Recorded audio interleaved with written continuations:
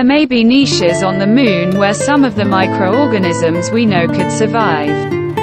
Recent research by scientists at NASA's Goddard Space Flight Center suggests that some of the microbes we know of could survive in extreme conditions near the Moon's south pole.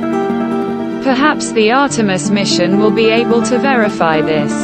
If the political, technological and, above all, economic situation allows, Americans may soon return to the Moon. The main idea of the Artemis program is to visit the Silver Globe again and set up a base there.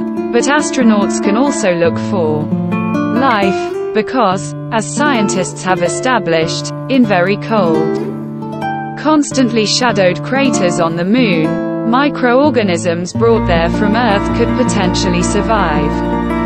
One of the most striking things our team discovered is that given recent research into the ranges where some microbes can survive, there may be potentially habitable niches for such life on certain airless bodies, Prabal said. Saxena, one of the authors of the study. More than half a century has passed since the landing of the last manned spacecraft on the Moon by NASA. It was the Apollo 17 mission.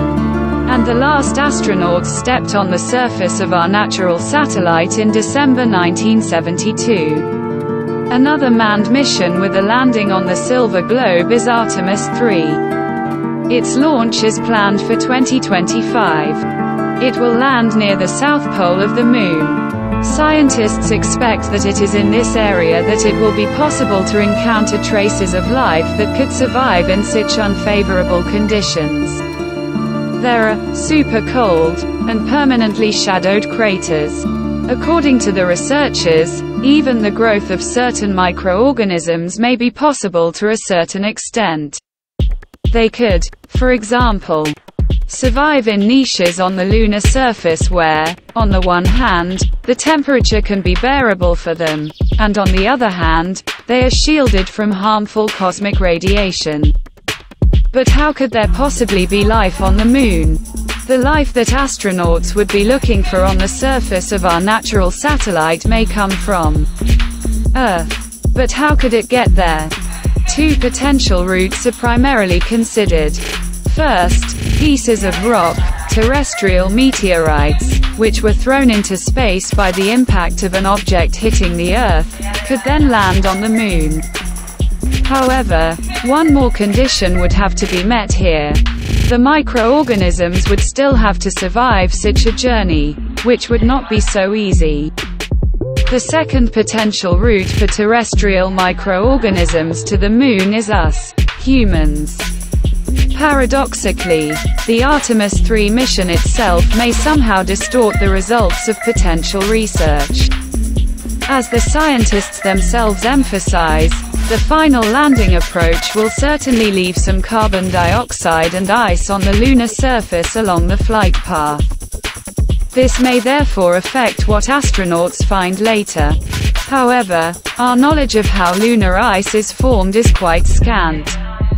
And so these circumstances in themselves will raise potentially interesting research.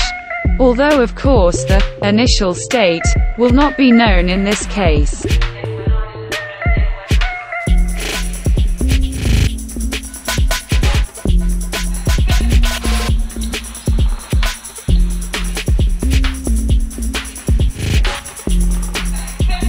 NASA hired theologians to see how humans would react to a possible discovery of alien life. How would people react if scientists found evidence of extraterrestrial life? NASA experts turned to representatives of various religions to help them understand how the possible discovery of alien life would change the way we see the universe. Whether it be microbial life or aliens straight out of Hollywood movies, it's more about the existential quandaries that extraterrestrial life would pose from a spiritual point of view. As technology advances, humanity builds better and better telescopes, sends vehicles to other worlds, and searches for extrasolar planets that could be suitable for life. But what happens when we encounter such a life? To this end, NASA has turned to representatives of the major religions to help assess and understand the existential conundrum that humanity will face if we discover alien life elsewhere in the universe. The project was carried out at the Princeton University Theological Research Center in 2015 to 2018 under the name, The Societal Implications of Astrobiology.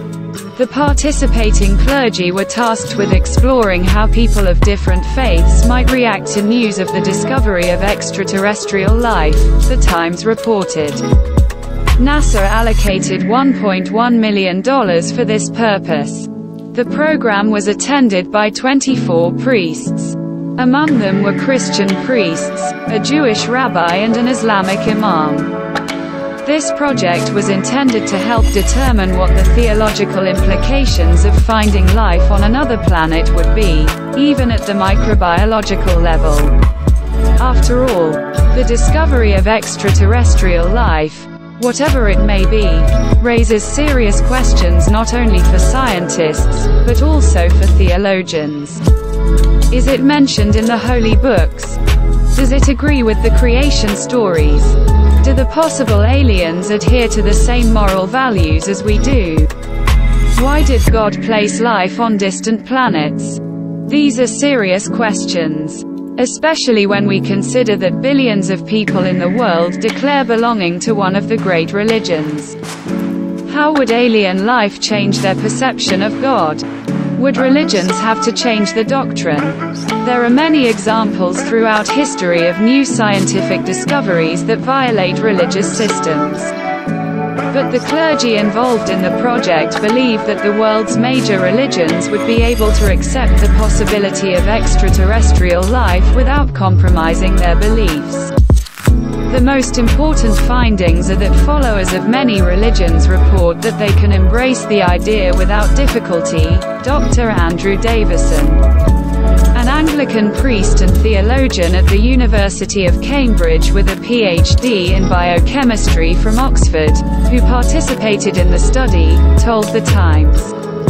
In the project in 2016-2017, author of the book, Astrobiology and Christian Doctrine, to be published next year. Non-religious people seem to overestimate the challenges that religious people would experience if they were faced with evidence of alien life, he adds. According to Davison, the confirmation of the existence of extraterrestrial life would mean that large numbers of people would turn to their religions for guidance, in an attempt to grapple with what the discovery would mean for the stature and dignity of human life. A similar opinion was expressed by representatives of Islam and Judaism. The clergy of these denominations admitted that the faithful would have no problem accepting the discovery of alien life. Nor would it cause problems with doctrine. According to former head of NASA's Institute of Astrobiology, Carl Pilcher, the notion that Earth is the only planet in the universe that has life is, Simply unthinkable when there are over 100 billion stars in our galaxy. Over 100 billion in the universe. Galaxies. This is not an isolated view. Some similarly speculative scientists believe that the question of alien life is not really a question of whether or not we find it, but when. Even in our solar system, there are a few places beyond Earth where life could develop.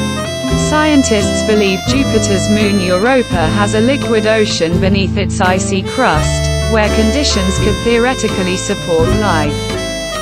Similar conditions, at least at first glance, exist on Saturn's icy moon Enceladus. But Mars is also considered, where liquid water existed in the ancient past and conditions were much more hospitable to life as we know it.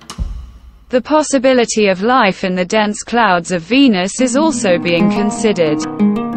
As recently reported by scientists from MIT, Cardiff University and Cambridge University.